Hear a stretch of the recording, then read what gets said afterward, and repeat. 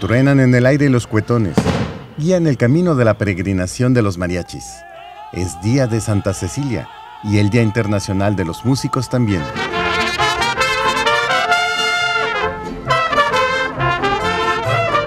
Caminan de la Plaza de Garibaldi rumbo a la Basílica de Guadalupe. Tres y medio kilómetros de música típica de México.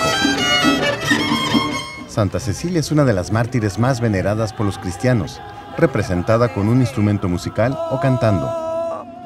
Claro, lo hacemos con todo gusto, con todo el fervor, respeto sobre todo a la Virgen Santa Cecilia, a la Virgen de Guadalupe, y es una satisfacción. Don Gumaro perdió la pierna por la diabetes hace más de 10 años y no falta dar gracias a Santa Cecilia y la Virgen de Guadalupe. Ha asistido a la peregrinación sin faltar desde hace tres décadas. Cercano al campanario, la música se escucha con más intensidad, con júbilo por haber cumplido un año más. Es un orgullo o traer el, mariachi, el traje de mariachi.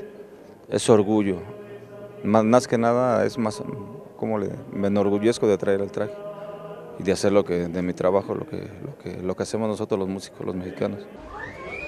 Al llegar a las puertas de la Casa de la Morena del Tepeyac, se siente la solemnidad de los mariachis, quienes le cantan con gran fervor.